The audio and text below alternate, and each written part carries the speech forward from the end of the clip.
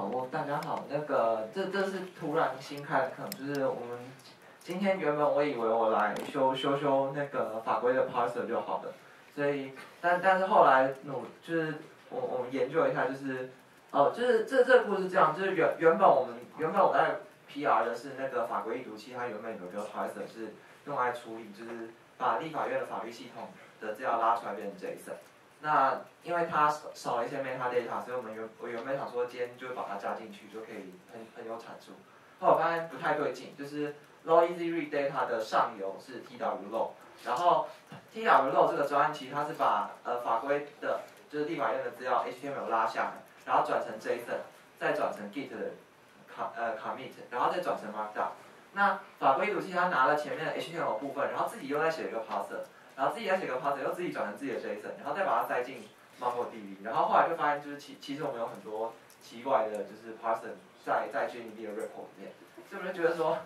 应该应该要正正规化，就是说就是变成每每个人为了要取得他自己要的 metadata 都要重新 pars 一次，所以我们是不是应该要讨论就是怎么样把那个法条真正的就是很好的把它 metadata 保存起来，然后大家就可以取用，那。我我们目前是有想，然后目前就是先先给它取个代号叫做呃 Law Formalization 二点零，那简称 LF two，对。然后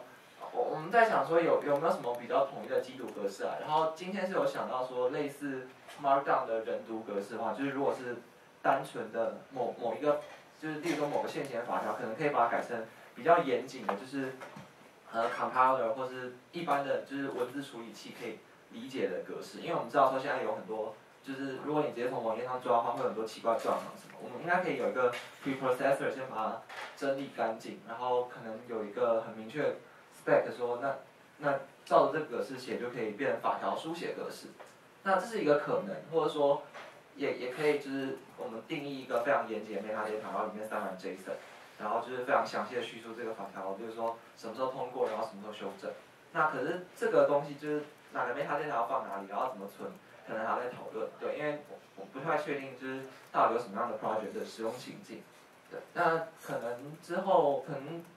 我我等考考完期末考，我要把这个动动补起来，对，听说下下个礼拜就要下下礼拜就要期末考，对，然后那那这是今天突然开的课，然后就如果如果你的 project 有用到法条的话，请请来 hack tag 给我们意见，对，谢谢。